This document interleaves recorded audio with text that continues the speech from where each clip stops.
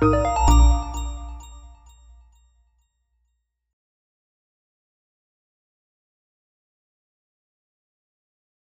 the next stage for businesses developing cloud technology is to play nicely together, right? So um, there are these great best of breed tools. So Huddle for collaboration, uh, Salesforce.com for CRM, SuccessFactors for your HR and so on.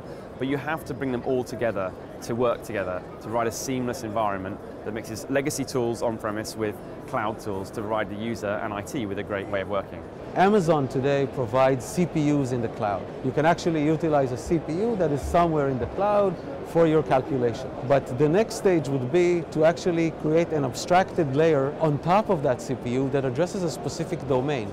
So from now on, you may need to maybe use a CPU for a specific need. One of the biggest challenges, of course, that the cloud competes against is privacy, compliance, security.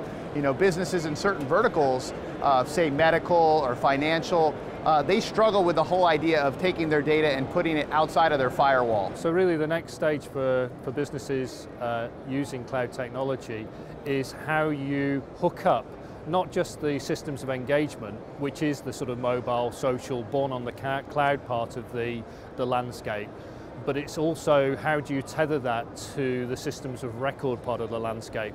This is where a lot of those systems are much more bespoke, much more customized. It's a bit more heavy lifting. The integration of those back office systems with the new front office systems is what's really going to drive the, the real richness and value of that data.